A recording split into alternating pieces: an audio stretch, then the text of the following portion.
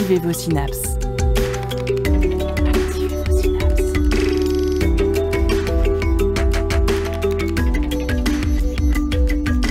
Poussez la porte du labo des savoirs et entrez dans un monde de science et d'expérience. C'est le labo des savoirs. Alors que le taux de réussite au bac atteint 90%, les études supérieures se sont démocratisées, devenant même un critère de sélection pour de nombreux emplois. Cependant, dans quelles conditions évoluent étudiants, doctorants et vacataires dans les universités en 2024 Qu'en est-il de la santé mentale des étudiants, de la pression pendant la thèse ou de la précarité de l'emploi? Universitaires tous et toutes précaires, c'est notre nouvelle émission du Labo des Savoirs.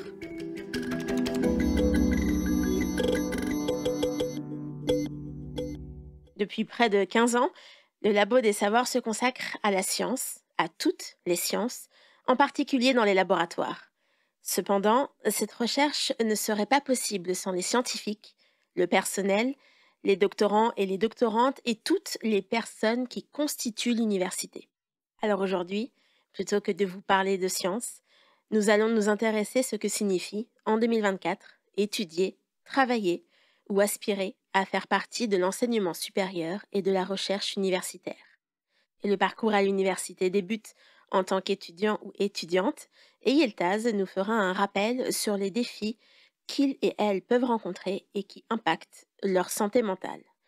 Nous aurons ensuite une interview d'Adèle Combe, docteur en neurobiologie et consultante en communication médicale, au sujet de son ouvrage Comment l'université broie les jeunes chercheurs et sur les conditions de vie en thèse.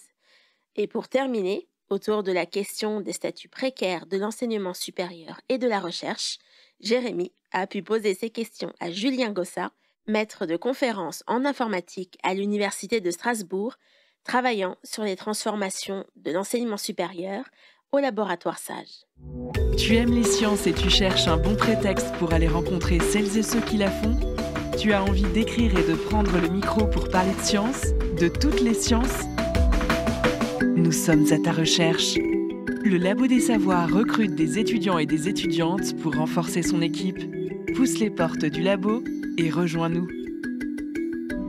Aller à l'université signifie passer 3 à 5 ans à étudier après avoir réussi le bac. Cependant, entre le besoin de travailler pendant ses études et les difficultés à se loger, être en licence ou en master n'est pas toujours facile. La santé des jeunes peut être affectée pendant cette période. Et c'est le sujet que tu as choisi de traiter aujourd'hui, Eltaz, en abordant notamment une étude sur la santé mentale des étudiants. En mars dernier, une étude de l'Université de Bordeaux sur la santé mentale étudiante a montré que 41% des participants et participantes présentaient des symptômes dépressifs, contre 26% pendant la période pré-Covid. Dit comme ça, ce chiffre peut paraître un peu sorti d'un chapeau magique. Seulement, si on regarde un peu plus en profondeur les études sur le sujet, on y trouve un réel consensus. En France, les étudiants et étudiantes ne sont pas tous et toutes au top de leur forme. On parle facilement d'anxiété, voire de troubles dépressifs. Mais alors, d'où vient ce mal-être étudiant? Il est temps de faire un point sur l'ensemble des pressions qui peuvent peser sur les 18-25. Pour commencer, l'un des premiers facteurs en cause est la sélection. Ainsi, avant même d'acquérir le statut d'étudiant, les lycéennes et lycéens y sont déjà confrontés. Résultat, on n'atterrit pas toujours dans la formation qui nous plaît le plus. Et il n'y a pas que la sélection sur la base du dossier euh, sur Parcoursup qui est en jeu. Le prix de certaines formations privées est également une forme de sélection en soi, sélectionnant uniquement les élèves qui en ont les moyens financiers. Heureusement, il reste l'université. Une majorité de licences pas ou peu sélectives, des parcours de remise à niveau pour permettre les réorientations et des formations au rapport qualité-prix imbattable. Bien sûr, il faut encore pour ça que la fac ne soit pas saturée, comme l'a entre autres par exemple été le campus de l'université de Nanterre à la rentrée 2023, mobilisant donc le mouvement annuel des 100 fac, ces élèves auxquels Parcoursup n'a donné aucune solution de formation post-bac. Et puis, de toute manière, une fois que la licence est terminée, la sélection revient pour freiner l'accès au master. Quel que soit le domaine d'études, la sélection sur dossier est systématique en fin de troisième année de licence. Impossible pourtant de s'arrêter là. Dans la majorité des parcours, les masters sont presque indispensables pour donner de bonnes chances de déboucher professionnels. En fait, la sélection suit chaque étudiant et chaque étudiante durant l'ensemble de son parcours comme une épée de Damoclès au-dessus de sa tête. Cependant, la sélection n'est pas du tout la seule source de stress dans l'univers estudiantin. Il ne faut pas négliger non plus le facteur social et socio-environnemental parmi les facteurs de stress. Lorsque l'on arrive en première année d'études supérieures, on quitte un environnement que l'on connaissait bien, et de manière parfois un peu brutale. Il est difficile de trouver des chiffres sur le sujet, mais une étude notait par exemple en 2019 que 20% des étudiants et étudiantes en France changeaient d'académie pour leur étude, avec les déménagements que cela impose. Et il faut aussi comptabiliser celles et ceux qui prennent la décision de partir pour loger plus près de leur campus. Chez beaucoup d'étudiants et étudiantes, ces déplacements dans un nouvel environnement créent un sentiment de solitude ou d'anxiété qui s'est logiquement amplifié durant la pandémie et les confinements. D'autant plus que certains lieux d'études, comme l'université, ont le même effet que les grandes villes. On croise un nombre incalculable de personnes, mais au final, on a l'impression de ne pas y connaître grand monde. Notre nouvel environnement d'études nous demande donc un moment d'adaptation. Cela dit, pour avoir son appart, encore faut-il avoir un peu d'argent.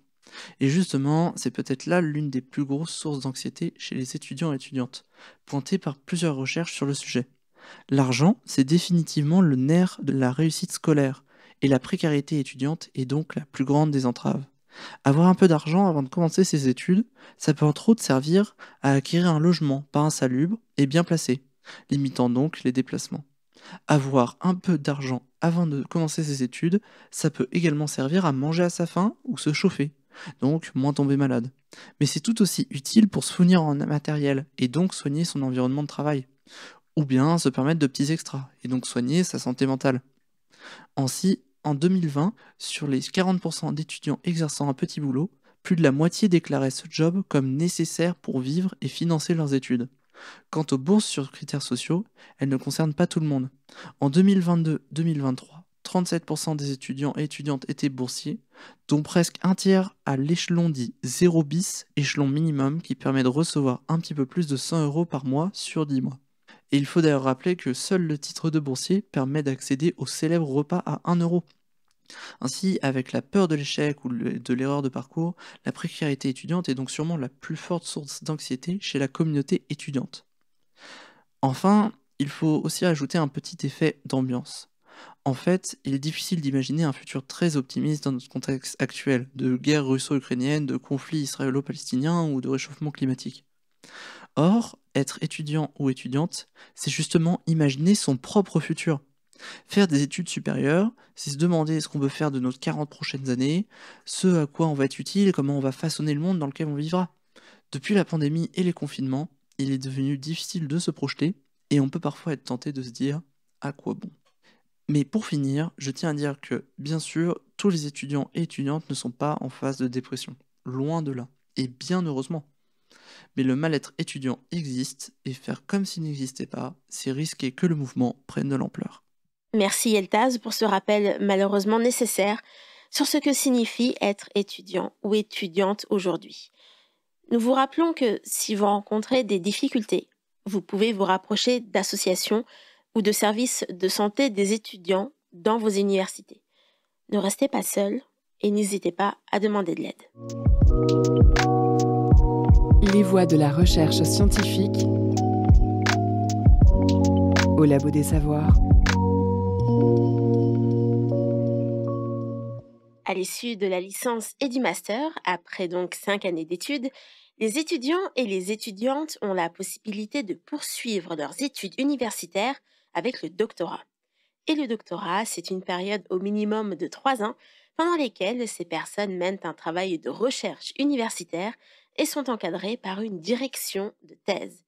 Un passage obligatoire pour devenir chercheur ou chercheuse est soumis à de fortes pressions. En 2022 est sorti l'ouvrage Comment l'université broie ses jeunes chercheurs aux éditions Autrement, un ouvrage écrit par Adèle Combe, docteur en neurobiologie et consultante en communication médicale. Cet ouvrage parle des conditions de thèse via trois récits de doctorants et de doctorantes qu'a pu rencontrer Adelcombe. Et via un questionnaire auquel ont répondu plus de 1800 personnes, Adelcombe a mené un travail de recherche et d'exploration des conditions de vie en thèse. Nous avons pu lui poser quelques questions. Et pourquoi ce diplôme est-il si particulier? Et pourquoi ce diplôme est si particulier? Ce qui est assez particulier avec, euh, avec la période doctorale, c'est qu'on est à la fois euh, travailleur, employé pour, euh, pour la plupart, et étudiant parce qu'on prépare un diplôme. Et donc c'est pas comme dans plus grande majorité des, autres métiers où bah, si ça va pas, si, si les conditions nous plaisent pas, on peut partir et puis on va être embauché ailleurs. En fait, non, parce que si on fait ça, dans ce cas-là, on n'obtient pas son diplôme, à moins de changer de direction de thèse, ce qui est faisable, ce qui est possible, mais qui est compliqué. Et si on n'obtient pas son diplôme, en tout cas, ben, en fait, on ne peut pas poursuivre la carrière euh, qu'on a envisagée. Donc, euh, il y a une sorte de déséquilibre en fait des pouvoirs de la part de la direction, qui a une espèce de, de, pouvoir énorme sur notre poursuite de carrière. Ce qui est assez intéressant, c'est ce déséquilibre des pouvoirs, est très peu contrôlé. En fait, on est assez dépendant de la bonne volonté et de la chance, tout simplement, d'obtenir une direction de thèse qui soit humaine et qui, n'abuse pas de ce pouvoir euh, qui est inhérent à, leur, rôle. Et donc, euh, quand justement on a des, euh, des directions de thèse qui, au-delà d'être directions, qui sont vraiment des mentors, ça peut très très bien se passer. Mais à partir du moment où ce sont des personnes qui vont chercher à vous exploiter ou qui vont chercher à vous pousser sans trop trop se soucier finalement de votre bien-être, les personnes vont se retrouver dans une situation où, euh, bah, si elles restent, elles risquent d'y laisser leur santé euh, mentale, et si elles partent, elles risquent d'y laisser leur diplôme. Adèle Combe, euh, pourquoi vous êtes-vous intéressée à ce diplôme, surtout après avoir vous-même passé une thèse? Ah, en fait, ce qui m'intéressait, c'était que je, vois bien, bien sûr, qu'il y a de nombreuses thèses qui se passent très bien, et il y a de nombreuses chercheuses et nombreux chercheurs qui, vivent une belle recherche. Et ce qui m'avait marqué en thèse, c'est qu'il y avait une partie quand même qui, semblait euh, aller euh, plutôt mal. Et euh, c'était une population qui semblait pas avoir beaucoup de, d'écho, on va dire, ces, situations de difficulté durant le doctorat et puis ensuite par, par la suite durant le postdoc et même une fois titulaire. Hein. De ce que moi j'avais pu observer dans mon laboratoire et ensuite, effectivement, au vu des communications que j'ai pu voir sur Internet et puis des échanges aussi que j'ai eu moi-même avec des, des, personnes qui avaient l'expérience du doctorat, je me suis dit que, bah, au-delà des, témoignages de bonnes expériences qu'on peut avoir, il y a une sorte de boîte noire concernant les expériences négatives qu'elles soient négatives à cause des conditions de travail, à cause des violences psychologiques, des violences sexistes et sexuelles, des, de la précarité. Et c'est ce sujet que j'ai voulu étudier à la fois de façon quantitative, c'est-à-dire qu'effectivement en faisant un questionnaire, et aussi de façon qualitative, c'est-à-dire en allant bah, directement rencontrer les personnes, en les interviewant et en comprenant, en essayant de comprendre comment des situations qui semblent positives au départ finissent par se dégrader pour atteindre un point euh, parfois de non-retour concernant sa carrière professionnelle, sa santé mentale, sa santé physique, de façon générale son bien-être dans, le, dans, le, monde de la recherche, et comprendre quel est le rôle en fait de l'environnement de travail, quel est le rôle des encadrants et des encadrantes sur cette dégradation-là, et qu'est-ce qu'on peut faire pour, faire pour déjà mieux comprendre les problèmes et pour ensuite agir pour bah, finalement que la recherche soit un lieu heureux, épanouissant et, et qui reste éthique? Dans les trois histoires de votre ouvrage, vous avez raconté le récit de trois jeunes chercheurs et chercheuses qui ont, au cours de leur thèse, subi du harcèlement moral ou encore des violences sexuelles et sexistes. Mais pourtant, ce qui frappe, c'est qu'au début de leur thèse et au début de leur récit, ils elles étaient tous et toutes motivés avec de l'envie, de la passion qui les animait, et ce, quel que soit leur profil, que ce soit de jeunes et brillants étudiants ou étudiantes, euh, ou ceux et celles qui ont pu avoir des parcours et des difficultés pendant leurs études. Oui, et en, fait, ce qu'on remarque, c'est que cet équilibre vie professionnelle, vie personnelle, ce bien-être au travail va être complètement dépendant de la direction de thèse et de, euh, de l'environnement de, travail, de, comment on perçoit en fait la recherche au niveau de son équipe, puis plus largement au niveau de son laboratoire. Et donc j'ai pu discuter avec des personnes qui m'ont dit mais moi le doctorat c'est une de mes plus belles expériences de vie euh, parce que j'avais euh, un directeur de thèse qui, mm, à la fois euh, me, poussait assez, mais qui faisait aussi attention à ce que je prenne assez de repos, qui me laissait une certaine liberté dans, dans, comment je veux construire mon projet de recherche et qui m'écrasait pas à vouloir absolument m'imposer un modèle de travail. D'un autre côté, on voit toutes ces autres personnes qui, elles, sont effectivement écrasées, broyées par des injonctions assez diverses. Ça peut aller effectivement devoir travailler tous les jours, même les week-ends, sans avoir la possibilité de récupérer ces jours de repos travaillés. Ça, c'est quelque chose qu'on va plutôt voir en sciences exactes, en sciences de la vie, où parfois on est emmené à, travailler le week-end quand on travaille des modèles animaux, par exemple, ou des cellules. parfois aussi en, sciences humaines et sociales, si on doit interviewer des, personnes, ça peut se faire sur le week-end. Et c'est assez intéressant de voir que quand on demande aux gens, est-ce que bah, vous êtes au courant que vous avez le droit de récupérer normalement des jours de repos qui ont été travaillés, la plupart des gens ne sont même pas au courant que ça, ça existe.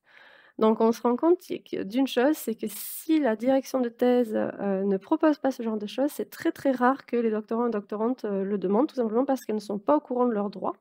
Donc un petit rappel, une petite piqûre de rappel sur euh, le fait que le droit du travail s'applique aussi à l'université, ça, ça pourrait être utile dans de nombreux endroits.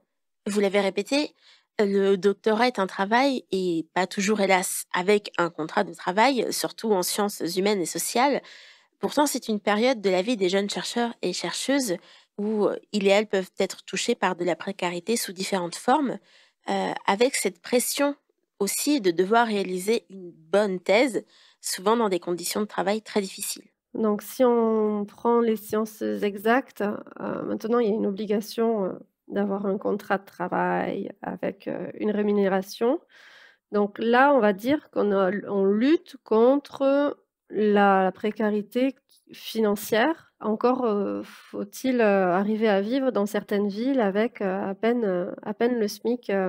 par exemple, à Paris, ça peut être assez compliqué malgré tout. Hein. D'un point de vue de, la, de la précarité en fait, du statut, c'est-à-dire est-ce que je suis protégée, c'est vrai que là aussi, on a, on a eu des avancées parce que maintenant, le fait d'avoir un contrat de travail, ça permet d'avoir un congé maladie, ça permet d'avoir un congé maternité. Euh, le problème, c'est qu'on va pas forcément lutter contre cette précarité qui est sur sa carrière, qui est liée au fait qu'il y a finalement de moins en moins de postes qui s'ouvrent pour être titularisés. Et on en revient à des personnes qui, même si elles sont excellentes, qui ont, coché toutes les cases de ce qu'il faut, faire, faire, partie, faire des congrès, faire des belles publications en premier auteur, avoir fait du mentorat, enfin, plein, plein, plein de trucs, mais ne vont pas forcément être sélectionnés par la suite. Je considère que ça reste dans la précarité parce qu'en en fait, on ne sait pas vraiment de quoi seront faites les cinq prochaines années. Et quand on a 30, 35 ou qu'on approche la quarantaine et qu'on n'est toujours pas titularisé, qu'on voudrait peut-être acheter une maison, peut-être avoir un enfant, ça reste très compliqué aussi. Et là, ça c'est dans le cas où on va être avec des, doctorants qui peuvent avoir un financement. Il y a l'autre cas ensuite des doctorants et doctorantes qui sont principalement en sciences humaines et sociales qui ne vont pas avoir de financement. Et là, pour moi, c'est une aberration, c'est-à-dire que tout travail mérite salaire. Ce sont quand même des personnes qui vont faire avancer euh, la connaissance, euh, la connaissance humaine, mieux comprendre. Enfin, bref, c'est un travail. Et donc, à ce titre, ça devrait être complètement rémunéré. Et quand on voit que ces, personnes brillantes s'épuisent dans des métiers alimentaires, des, jobs alimentaires pour, euh, pour pouvoir mener à bien leur recherche, c'est honteux qu'on permette, encore de faire ça. La précarité financière et de, statut aussi, le fait de ne pas forcément avoir un contrat, pas de congé payé, ça, hum, ça a un impact sur, euh, sur l'estime de soi aussi. C'est-à-dire que là, la personne va travailler, mais va pas être payée pour. La façon dont sa famille va pouvoir la traiter aussi va être assez particulière. C'est vrai que quand euh, c'est assez rare d'avoir un, enfant euh, qui, a 25-30 ans, fait de longues études et qui qui gagne toujours pas sa vie. Donc ça, ça peut être aussi compliqué avec les relations familiales. Euh, et c'est une forme de violence, en fait. Parce que euh, les personnes les plus précaires vont être les personnes qui ont encore moins le pouvoir de dire non. Parce que euh, on propose un cours, une vacation, un petit quelque chose, bah, même si c'est tout pourri à deux heures et demie de là où tu vis, bah, malgré tout, tu vas le prendre parce que que tu n'as pas d'argent en fait.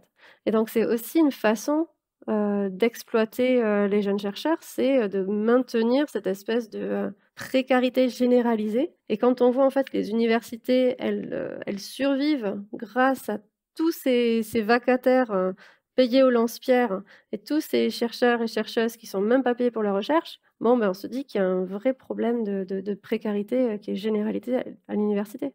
Les personnes qui ont conscience que c'est rare en fait d'avoir un financement, peuvent se dire, et donc j'ai rencontré des personnes comme ça, qui disaient, bon, bah, moi, j'ai la chance, je suis chanceuse, j'ai un financement. Donc, je peux encore moins me plaindre. C'est pas une raison pour ne pas se plaindre.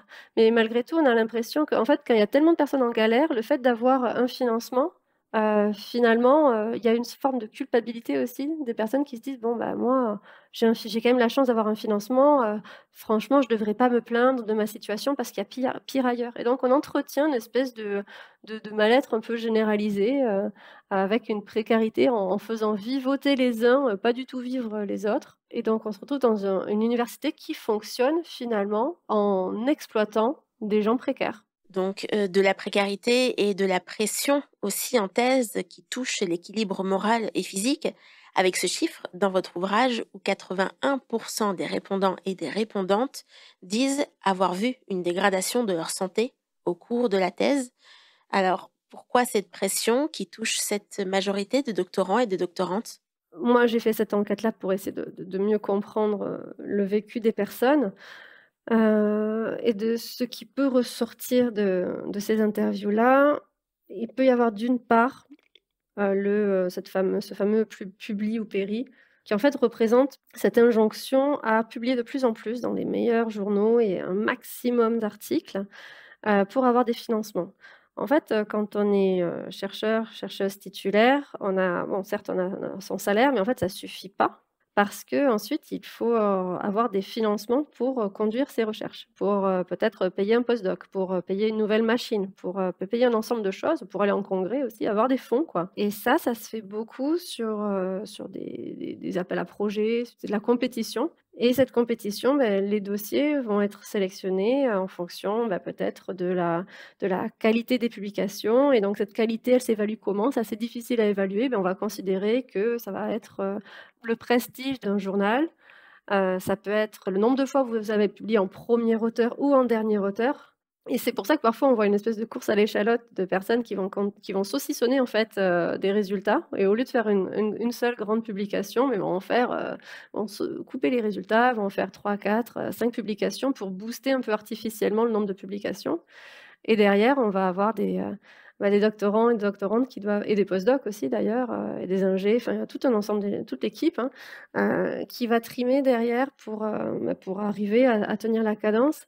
Et en fait, c'est assez vicieux parce que à la fois on sait que c'est pas sain, tout le monde sait que c'est pas sain, mais on le fait quand même parce que on se dit, mais si je suis la première personne à, arrêter de faire ça, bah, peut-être que euh, une bourse va me passer sous le nez, peut-être qu'un financement va, me passer sous le nez, et en fin de compte, on va continuer ces pratiques qui ne sont pas euh, saines en fait pour, euh, pour la santé physique et mentale des, personnes.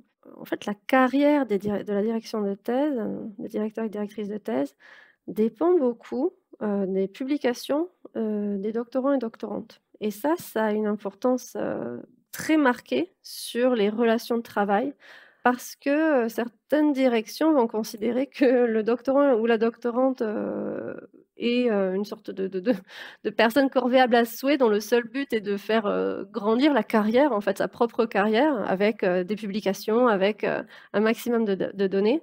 et ça, ça peut se faire complètement au détriment, au détriment de la santé physique et, mentale des, des jeunes chercheurs. Et avec cette pression et ces conditions parfois dégradées de travail, Existe-t-il des garde-fous ou des recours en cas de problèmes rencontrés, notamment avec les directions de thèse? Il y a quand même un ensemble de, de dispositifs qui sont tous imparfaits, mais qui, peut-être mis ensemble, peuvent euh, arriver à, répondre à plusieurs, euh, de ces problématiques. Euh, il y a un autre garde-fou qui est quand même très intéressant, même s'il est très imparfait, c'est le comité de suivi individuel ou, comité de suivi de thèse.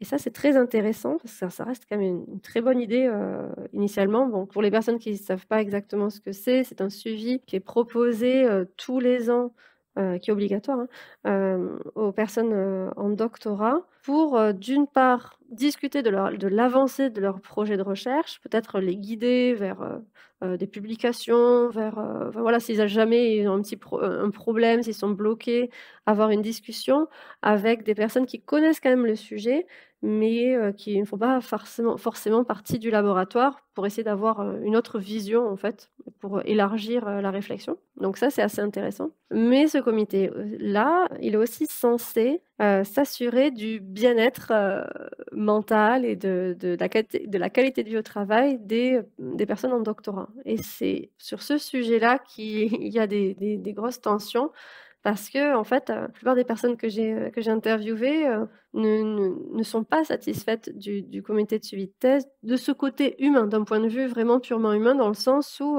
bon, ben, les personnes qui n'ont pas eu de soucis ou qui n'ont pas de problème, elles elles n'ont pas eu ce besoin de faire appel au comité de suivi de thèse pour révéler un problème d'ordre relationnel.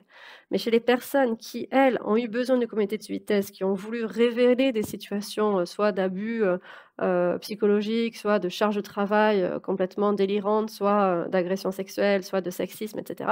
Mais chez ces personnes-là, en fait, elles se rendent compte que malheureusement, souvent, le comité de suivi individuel n'est pas à la hauteur, soit parce que bah, il n'a pas tant de pouvoir que ça pour régler les problèmes, soit parce qu'en fait, il y a aussi une sorte d'autocensure quand le comité, ce comité-là est choisi au, moins en partie, mais souvent entièrement par la direction de thèse, et qu'on a un problème avec sa direction de thèse, eh ben on se dit bon, ben, si ça se trouve, le, ce comité de suivi, il n'est pas, pas vraiment objectif, et peut-être que parler va m'apporter plus de problèmes que de solutions. Un autre problème aussi, c'est que même si la grande majorité des personnes qui sont en comité de suivi thèse a priori ont cœur à, bien faire. D'ailleurs, j'ai discuté avec certaines de ces personnes qui, cherchent, qui ont plus de formation, qui veulent vraiment bien faire. En fait, ces personnes ne sont pas formées.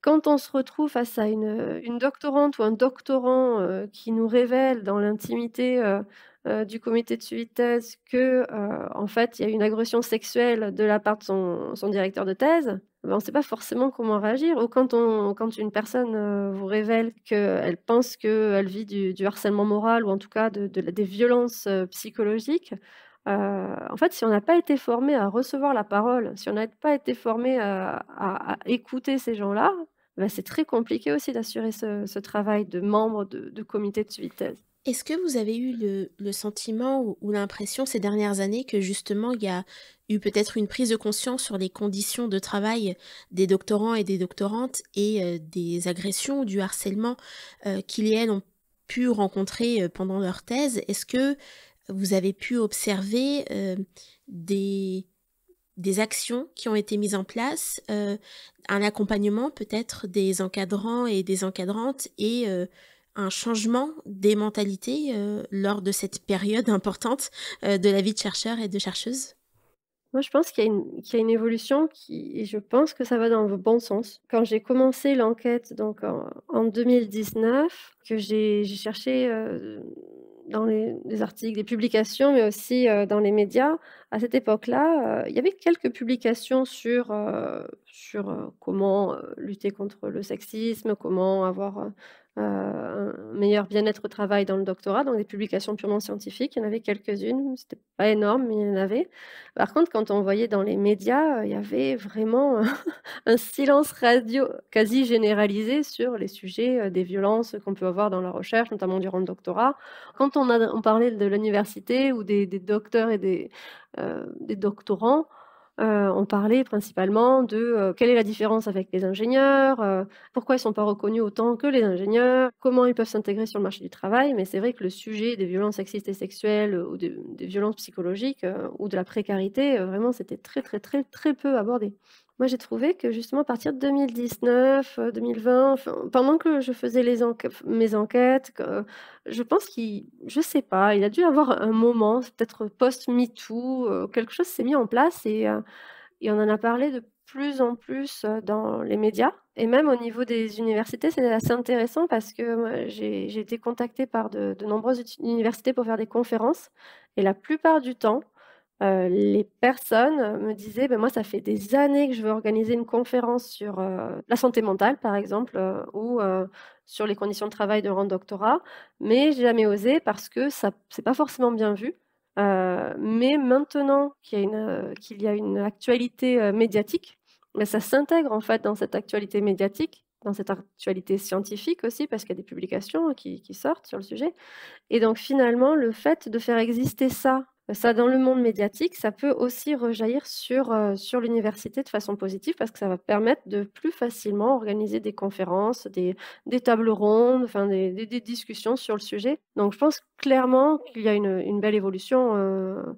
Ensuite, heu, la question c'est de savoir est-ce que c'est c'est pérenne? C'est-à-dire que moi je pense que malheureusement, si on ne maintient pas la pression, c'est un peu comme tout, hein, si on ne maintient pas la pression, facilement les choses elles, elles reviennent, elles reviennent comme elles étaient avant. Et heu et déjà qu'on n'est pas arrivé à un point où on peut vraiment sereinement partout faire de la recherche, heu, sans sexisme, sans violence psychologique, alors là, heu, on peut pas se permettre en fait de relâcher la pression et donc c'est pour ça qu'il y a des assos, heu, comme, heu, voilà le Clash, des assos, heu, locales, la Confédération des jeunes chercheurs aussi qui font pas mal de pas mal de choses sur le sujet. Des syndicats aussi, qui qui qui mettent sur le devant de la scène à l'université, ces problèmes-là pour pas que ce soit un petit peu tabou. En fait, un des problèmes à l'université, c'est que ce sont des problématiques qui sont tabous parce que, il y a cette crainte de paraître parfois, hein, il y a cette crainte de paraître faible. Si je parle de ma santé mentale, est-ce que ça veut dire que je suis, heu, un chercheur ou une chercheuse qui, heu, qui n'est pas assez fort, heu, pour, pour mériter sa place? En fait, c'est assez fou, hein, mais on part de très, très loin quand même parce que quand vous êtes en conférence ou quand vous discutez avec des directeurs et des directrices qui vous disent que, bah, en thèse, si tu souffres pas, c'est que c'est pas une bonne thèse ou alors un doctorant qui ne déprime pas, c'est pas un bon doctorant. Bah, on parle de très, très loin pour arriver à atteindre, des conditions de travail qui, ne font pas la promotion de la souffrance physique et mentale au nom de l'excellence scientifique. C'est très important aussi de déconstruire ça et comment on déconstruit cette espèce de lien entre, bah, pour faire, pour faire une bonne thèse, il faut souffrir, heu, presque la santé mentale dégradée, ça serait presque normal et une condition sine qua non de, de d'une d'un d'une bonne thèse. Bah, comment on fait pour déconstruire ça et pour dire que déjà, bah, c'est complètement faux? Heu, on fait des conférences, on en parle de plus en plus et à force de répéter le message et à force que ce soit normal que les gens se disent: «Mais, en fait, j'ai peut-être pas envie de souffrir pour mon boulot», bah, on va arriver aussi à progressivement à faire rentrer ça dans les mentalités.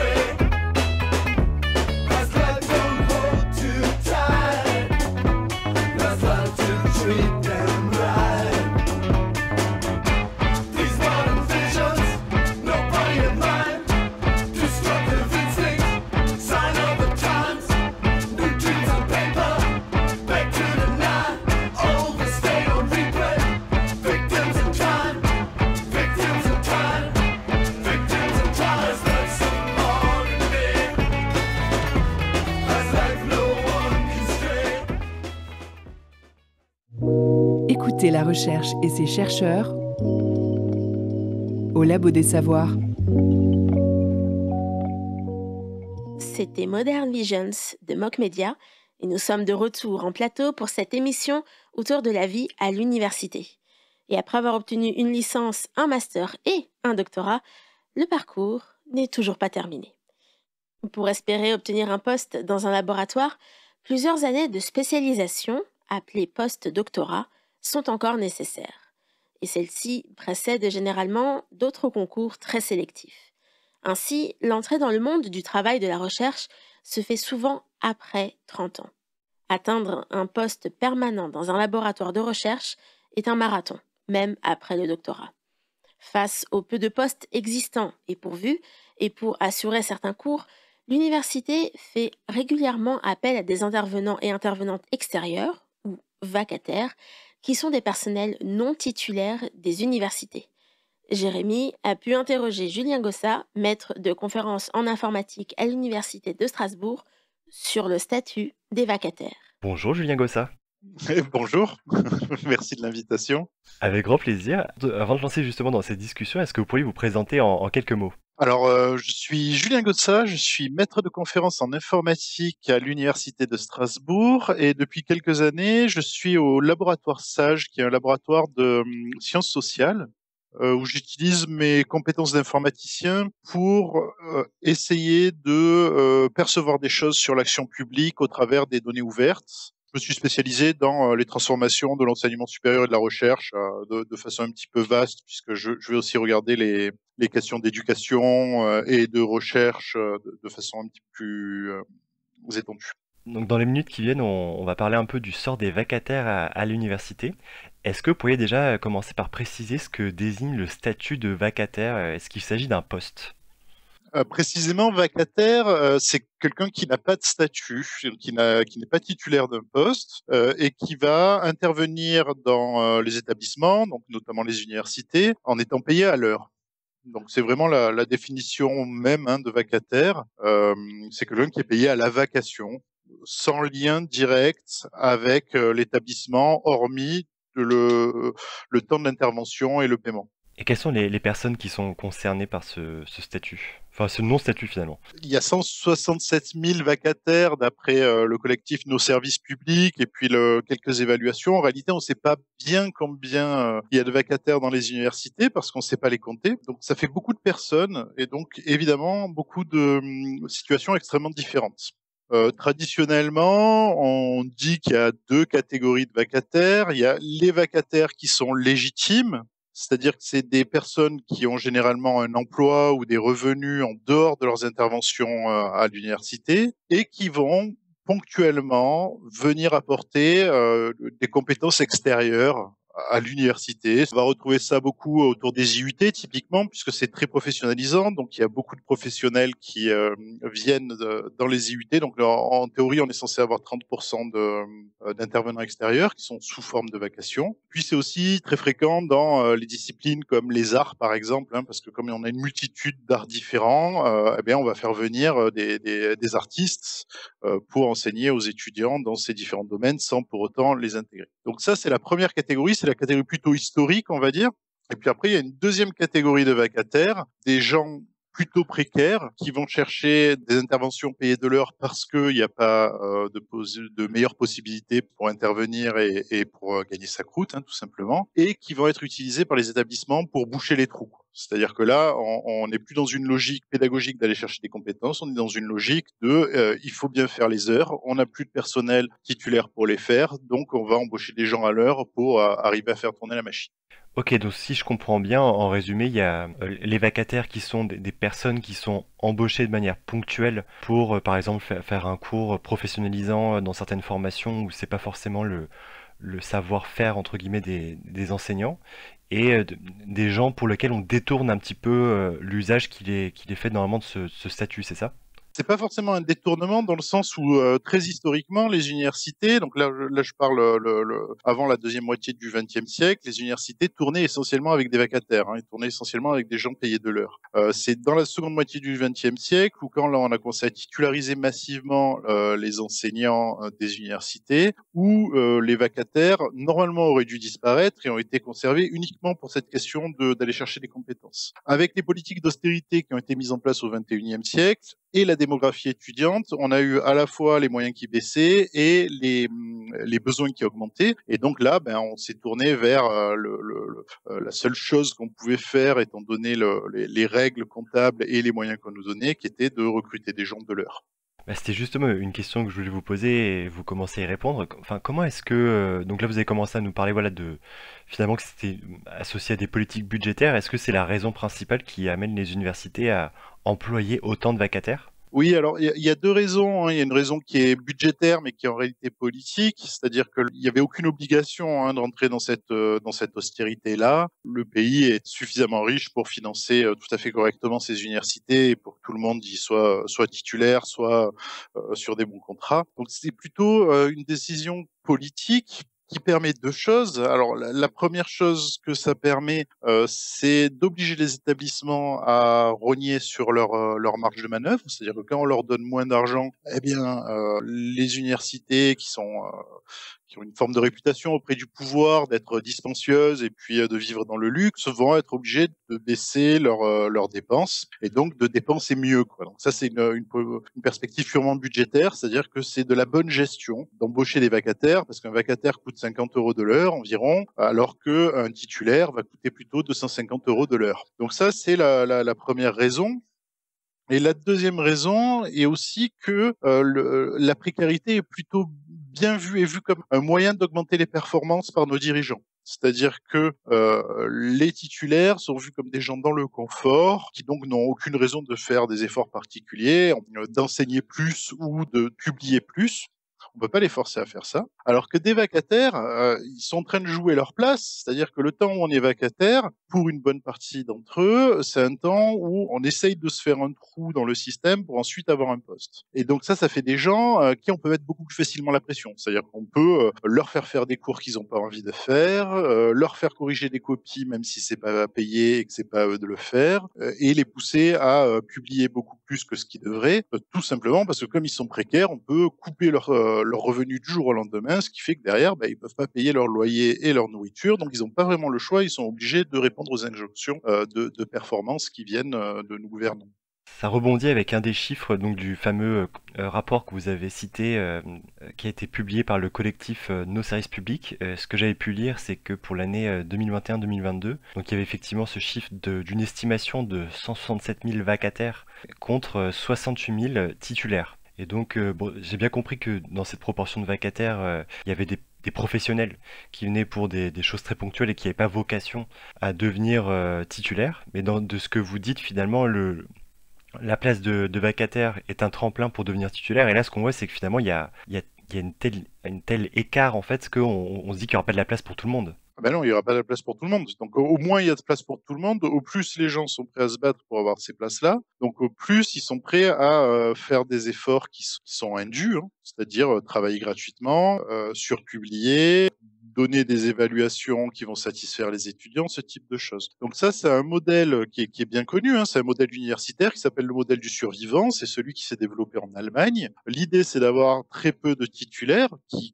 euh, contrôlent la structure et énormément de précaires qui se battent entre eux pour arriver à essayer d'attraper un poste de titulaire. Donc l'idée, c'est de très maltraiter les gens mais en échange d'avoir un prix qui est énorme. C'est-à-dire pour les, les, quelques qui vont réussir à gagner, eh bien, ils auront la titularisation, qui une forme de Graal dans le milieu. Là où l'application du système allemand en France se passe pas très bien, c'est qu'un professeur en Allemagne est quand même beaucoup mieux reconnu, beaucoup mieux payé qu'un professeur titulaire en France. Donc ça veut dire que la compétition entre les, les précaires pour arriver à obtenir ce poste de titulaire est beaucoup moins excitante quoi, en France. Et est-ce qu'il y a des, moyens pour, pour les précaires de, de s'organiser justement, vu que c'est c'est une compétition, donc il y a, un peu l'idée de la course des uns contre les autres. Est-ce qu'il y a quand même des actions collectives qui émergent pour euh, améliorer les, conditions? Ça fait quelque temps hein, que je suis l'émergence de, de, différents collectifs qui, qui, apparaissent ponctuellement un petit peu partout, en général très centrés sur les sciences sociales, notamment parce que c'est là où il y a le plus de précaires, et puis aussi parce que c'est là où il y a le, le plus de conscience politique dans ces collectifs, j'ai jamais vraiment vu une compétition brutale entre les membres du collectif. Par contre, très rapidement, dans ces collectifs, il y a quelqu'un qui arrive à soit à obtenir un poste, soit qui quitte euh, le monde académique parce qu'il en a marre, il trouve pas sa place et il trouve sa place ailleurs, par exemple. Euh, et là, donc voilà, ces gens-là vont euh, instantanément sortir de ces de ces collectifs, ce qui fait que c'est des collectifs qui sont par nature extrêmement instables. Et, à ce propos, justement, l'année dernière, il y a eu une, une campagne de rétention de notes qui a été lancé euh, et qui a été relayé par plusieurs euh, politiques, notamment à l'Assemblée nationale. Alors ça n'a pas vraiment permis de faire avancer la cause, bah, comme vous le dites, pour, euh, pour plein de, de raisons. Est-ce que vous pourriez un peu revenir sur les, les revendications principales des vacataires? Oui, alors le, ces revendications principales, alors je peux pas en faire le tour euh, de, de façon exhaustive, mais globalement, ce qu'on retrouve à chaque fois, c'est euh, le paiement des heures, la mensualisation de, du paiement des heures de vacation, c'est-à-dire ne plus être payé six mois en retard, ne pas être contraint de faire des tâches qui ne sont pas rémunérées, c'est-à-dire typiquement euh, le, corriger les copies d'un amphi, de l'amphi de quelqu'un d'autre. Hein, ça fait partie des pratiques qu'on peut voir euh, dans, dans, dans, certaines euh, universités. Évidemment, des, des postes de titularisation pour pouvoir avoir une, une, condition stable pour exercer son métier. En, en, gros, voilà, ça tourne autour de, de ça. Il y a eu quelques petites tentatives demander une augmentation du tarif des, euh, des vacations, mais euh, ça, ça, se heurte très vite à euh, une impossibilité politique dure. Donc le, les, les, collectifs de vacataires vont rarement sur cette idée de doubler ou tripler l'heure de vacation. Peut-être parce qu'aussi ils sont conscients que si on triple l'heure de vacation, ils vont perdre les quelques heures qui leur permettent de, de payer leur loyer. Et peut-être juste pour, qu'on puisse comprendre, notamment pour les, personnes qui sont un peu éloignées du fonctionnement de l'université, donc vous parlez de, de tâches euh, euh, qui sont indues comme la correction des copies. Comment ça se passe pour une personne euh, titulaire? Alors, c'est pas toutes les corrections de copies hein, qui sont indues. Hein. C'est le, on, est euh, évidemment on doit corriger les copies de nos propres étudiants, euh, mais il arrive que de temps en temps, euh, voilà, des, des, des, personnes indélicates confient aux vacataires la charge de soit surveiller un amphi, soit corriger des copies, alors que ça ne ça n'est pas leurs étudiants. Alors là, on, on, a un jugement du tribunal administratif qui indique clairement que c'est que c'est illégal. S'il y a eu jugement, c'est qu'il y a eu il y a eu litige faire plus que euh, le, les obligations statutaires sans forcément chercher à être payé, c'est quelque chose qui est absolument normal pour un titulaire. C'est-à-dire que euh, un titulaire, il n'est pas payé pour ce qu'il fait, il est payé pour ce qu'il est. Les titulaires de sa euh, d'un poste de la fonction publique, donc il est fonctionnaire, il reçoit pas un salaire mais un traitement, et ce traitement c'est l'État qui paye cette personne pour être ce qu'elle est et pour agir tout au long de sa vie en tant qu'enseignant-chercheur. Euh, Quand on est payé comme ça, c'est à peu près normal de faire tourner la machine sans forcément aller chercher euh, derrière des rémunérations en plus, parce qu'on a son salaire de base. Le problème, c'est que quand on commence à appliquer ce système-là à des gens qui sont payés à l'heure, évidemment, on tombe immédiatement en injustice. C'est-à-dire que euh, quand on, demande à des vacataires de faire le, des tâches comme les, titulaires le font, alors que eux n'ont pas de traitement et n'ont pas de statut, euh, eh bien c'est inacceptable. Jusqu'à présent, on a pas mal parlé donc de la situation des, euh, des vacataires en eux-mêmes. Euh, est-ce que c'est aussi un problème leur, leur, situation pour les étudiants, les étudiantes qui leur font, font face? Alors pour les étudiants, pas forcément. C'est-à-dire bon, la grande partie des vacataires qui sont des professionnels, qui viennent à l'université, c'est un peu, euh, on, se teste, hein, ça veut dire qu'ils viennent euh, faire un module une année, puis ça se passe mal, on arrête. Parfois, même si ça se passe pas très bien, on est obligé de continuer parce qu'on a personne d'autre. Mais globalement, il euh, le, y, y, a un turnover qui fait que les gens qui restent, ce sont les gens qui aiment bien enseigner, euh, et donc ça se passe plutôt bien. Pour les vacataires euh, précaires, en général, on parle de doctorants. le, le a priori, il n'y a aucun problème de qualité. Quoi. Il n'y a pas plus de problèmes de qualité parmi les vacataires que parmi les enseignants-chercheurs. Là où ça peut poser problème auprès des étudiants, c'est que euh, bah, les vacataires tournent plus souvent, c'est-à-dire que c'est plus souvent d'une année sur l'autre, c'est pas tout à fait les mêmes, donc ça veut dire qu'il y a des, il y a quand même des ruptures pédagogiques, puis il faut qu'ils réapprennent sans cesse le, le, les nouveaux cours et compagnie, ce qui, ce qui quand même euh, leur demande beaucoup d'énergie et peut poser quelques problèmes. Mais globalement, je pense que euh, la plupart des vacations sont complètement transparentes pour les étudiants. C'est-à-dire qu'ils se rendent absolument pas compte qu'en phase 2, ils ont quelqu'un qui est extrêmement précaire. Donc ça, c'est pour les étudiants, ça change pas grand-chose à mon sens. Là où ça change plus, c'est probablement pour les, les, responsables de formation, parce que c'est beaucoup plus compliqué euh, d'embaucher des vacataires que de disposer de titulaires. C'est-à-dire euh, les vacataires, il en faut beaucoup plus. Euh, oh, il faut gérer leur disponibilité parce qu'en général, ils ont plusieurs activités, eh ben, ils sont pas toujours disponibles. Euh, c'est possible qu'ils fassent faux bon, c'est-à-dire qu'un titulaire a pas aucune raison a priori de faire faux bon euh, sur sur tout un module. Un vacataire, il peut promettre de venir et puis finalement ne pas venir pour une raison ou pour une autre, puisque euh, rien ne le lie euh, entre le, la, il a il a aucune relation contractuelle solide avec l'établissement en dehors des heures qu'il fait. Donc finalement, il n'a pas d'obligation autre que morale de, de, de, venir faire des cours. Et euh, est-ce que vous voyez des, des, bonnes nouvelles se dessiner euh, au sujet de, ce, de, cette situation dans les années qui viennent? Alors, le, le, c'était, c'était une des rares avancées euh, de la loi de programmation de la recherche de 2020, qui était la mensualisation des heures de vacation. Euh, en réalité, avec le, le, recul, on se rend compte que c'est un petit peu comme le droit au logement, quoi, ou le droit à la poursuite d'études. C'est-à-dire que plutôt que mettre en place un système qui permet d'effectivement mensualiser euh, les vacataires, on a créé un nouveau droit euh, qui, est, qui, est, difficilement applicable euh, parce qu'on n'a pas les moyens de le faire appliquer. Donc on n'a pas vu d'avancée majeure hein, en termes de, euh, de, délai paiement des vacataires. Euh, la perspective d'augmenter les heures de vacation pour qu'elles deviennent quand même décente. Hein. Euh, une heure de vacation à l'heure actuelle, donc c'est payé 44 euros, je pense, de tête. Euh, mais c'est pour une heure effective de course qui ne compte pas toutes les heures qu'il y a autour, c'est-à-dire préparation des cours, des copies, etc. vous pouvez multiplier par 4, entre 4 et 10 selon le, la, la, la, modalité des cours quand c'est la première fois que vous le faites. il vous faut 10 fois plus de temps, il faut 10 heures pour préparer une heure. Donc, c'est-à-dire que c'est extrêmement mal payé. Hein. Le, le, les calculs montrent que c'est payé en dessous du SMIC. Donc ça, a priori, il n'y aura pas d'augmentation de, de, de, cette chose-là. Hein. Il y a une augmentation de quelques centimes d'euros, donc ça reste à chaque fois assez ridicule. Et pour ce qui est de euh, l'ouverture de postes, là, on est complètement dans l'inconnu parce que euh, d'un côté, on a une baisse dramatique des moyens, c'est-à-dire que pour la première fois de l'histoire, les subventions pour charge de services publics, qui sont la dotation publique donnée aux universités, ne couvrent plus la masse salariale des universités. Donc là, on est dans l'inconnu. Et ce qui va se passer dans les prochaines années, c'est que à la fois on va avoir énormément de départs à la retraite et à la fois on va avoir une baisse du nombre d'étudiants. Donc là, on est dans l'inconnu. On ne sait pas trop comment ça va se passer le, les prochaines années et tout, va dépendre euh, probablement le, le, des, prochaines élections présidentielles. Euh, selon l'orientation des gens que nous aurons au pouvoir, ben, ça va bien se passer ou très mal se passer. J'ai deux questions euh, très naïves. La première, c'est comment ça se fait qu'on puisse, enfin, quelle est la difficulté en fait à payer mensuellement Parce que vous, évoquez un droit qui est difficile à mettre en place. Et c'est vrai que je pense que pour, par exemple, les personnes qui touchent leur salaire tous les mois, ils, se disent mais comment ça se fait que ces gens-là, on peut pas les payer mensuellement?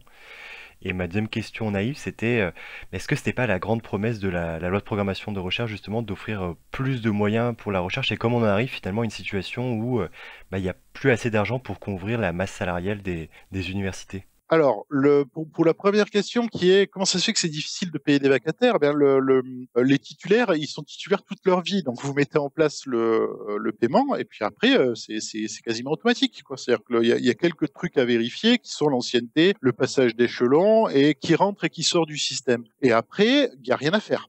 C'est-à-dire que le, tout se passe de façon complètement automatique quel que soit le nombre de personnes euh, titulaires dans le système. Pour les vacataires, c'est complètement différent puisque comme on les paye de l'heure, il faut euh, vérifier, faire un pointage de chaque heure. Ce qui pose un énorme problème aux établissements, c'est qu'on veut pas payer des heures qui ne seraient pas faites. C'est-à-dire que si on veut mensualiser un vacataire, euh, soit on fait un pointage qui est heure par heure et à chaque fois, pour chaque heure, il faut faire remonter euh, un formulaire euh, au, service comptable qui va mettre en paiement cette heure-ci, etc. Et en fait, ça coûterait beaucoup plus cher en, en gestion, en administration de tout ce système-là. Soit on veut payer toutes les heures d'un coup, mais alors là, il faut attendre que ces heures soient terminées alors, s'il faut attendre que ces heures soient terminées, ben, ça rajoute un délai. Après, il y a le délai d'administration par-dessus qui est vérifié euh, que, que, ces heures ont, ont, bien été effectuées, etc. Et après, la mise en paiement. Et ça, ça peut prendre euh, entre deux et six mois. Euh, si on voulait mensualiser les vacataires, en réalité, il n'y a qu'une seule façon de faire, c'est d'avoir un, un, un, prévisionnel, c'est-à-dire de dire, ben, ce vacataire, il devrait faire environ 30 heures. Euh, et de payer par exemple la moitié de ces 30 heures au début et d'attendre que ces 30 heures soient faites pour euh, payer l'autre moitié. Le souci, c'est qu'est-ce qui se passe si ces heures sont pas faites? Donc voilà, c'est surtout une question de défiance. Pendant le Covid, on a neutralisé tout ça, c'est-à-dire qu'on s'est mis à payer les vacataires sur simple déclaration, et, et en fait, de fait, on, on, les vacataires étaient mensualisés pendant le Covid. Donc c'est vraiment c'est une question purement administrative. Euh, pour la deuxième question, qui était comment ça se fait qu'on a une loi de programmation de la recherche qui nous promet monts et merveilles et que euh, deux ans après, on se retrouve euh, tous en déficit? Alors, bon, d'abord, c'est faux, c'est-à-dire que le, le, le, discours qui a été tenu par les réformateurs avant même le, le, vote de la loi, euh, le collectif Rogue ESR, par exemple, avait démonté les éléments de langage pour montrer que euh, les milliards proposés par, euh, par la loi de programmation de la recherche, en fait, ne, faisaient que suivre l'inflation. Euh, il y a d'ailleurs eu une bataille extrêmement dure euh, lors de la discussion de cette loi autour de est-ce que le, les projections budgétaires sont en euros ou en euros constants et le, les réformateurs ont refusé avec force que ce soit en euros c'est-à-dire ont refusé que l'inflation soit prise en compte dans euh, les projections budgétaires. Euh, deuxième indice assez fort, le, la loi pluriannuelle de programmation de la recherche a eu son nom, carrément son nom qui a été censuré par le Conseil d'État, si je dis pas de bêtises, pour lever le pluriannuel. C'est-à-dire que le Conseil d'État a dit attention, là, ce que vous faites, c'est pas une programmation pluriannuelle donc voilà, ça c'est le, le, le, la première des choses, c'est qu'on a été dans une manipulation euh, où on nous a promis des choses qui, en, réalité, sur le papier, ne tenaient pas. La deuxième des choses, c'est que tous les moyens qui ont été promis, c'est pas des moyens euh, de dotation récurrente des établissements pour qu'ils fassent tourner le, les affaires courantes, c'est des moyens qui sont fléchés sur la performance scientifique. C'est-à-dire qu'en réalité, on a pris sur les budgets des universités qui leur permettaient de faire des cours normalement aux, aux, licences et aux masters. On a pris cet argent et on l'a mis sur euh, des projets euh, dits d'excellence ou vus comme d'excellence, typiquement les chaires de professeurs juniors, donc beaucoup de moyens très concentrés pour essayer de trouver des, des petites poches de performance dans, dans, dans ce grand système qui est l'université. Est-ce qu'il y a une question euh, qu'il en fallait que je vous pose sur le sujet pour qu'on puisse euh, y voir plus clair ou continuer à le creuser? Là, comme ça, je vois pas, sauf si on veut rentrer dans des questions extrêmement compliquées, euh, qui sont typiquement comment ça se fait que les, les titulaires, qui sont quand même à l'abri euh, de, de, de, beaucoup de choses, ne se mobilisent pas plus euh, pour euh, améliorer le sort des vacataires et participent activement à euh, ce système de précarisation de leur propre métier. Je crois que ça nous mènerait à des considérations qui sont très éloignées, hein, des considérations vraiment de, de politique de l'action publique, de construction de, de euh, voilà de l'assentiment des, des, des personnels à des politiques qui sont manifestement contraires à leurs intérêts.